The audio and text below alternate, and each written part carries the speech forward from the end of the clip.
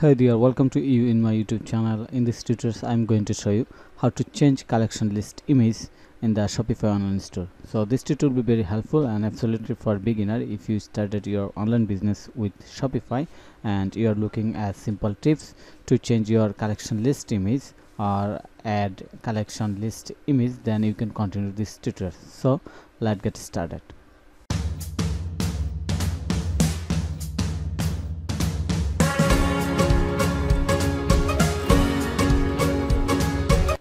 First of all I'm going to log in my Shopify online store.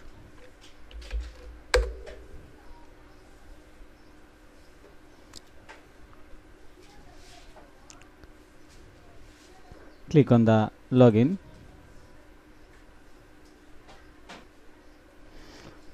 So I have logged in and this is my uh, dashboard and I'm going to visit my website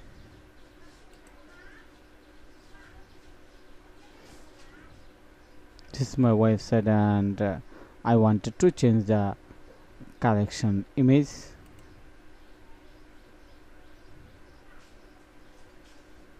Here is the collection image that I wanted to actually change.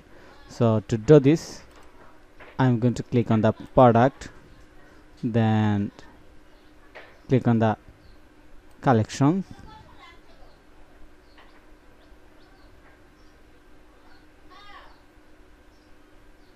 and here the all the collection names and all the collection have image. So for example i wanted to change the this collection image. So i am going to click on this collection titles. Then so easy. I can easily change the collection image from here. Just click on the edit and click on the change image then I can change my collection image from here I can download I can upload any image re relevant my collection and uh, I can upload here very easily then I have to click on the save then we are done so thank you for your time to watch this tutorials if you think this tutorial is very helpful for you as a beginner then click on the like button and subscribe to my channel to get more relevant shopify tutorials Hey everyone, my name is Nate Gallaudet. I'm the owner of Bacon Blend, and I worked with Foysal on building my Shopify store.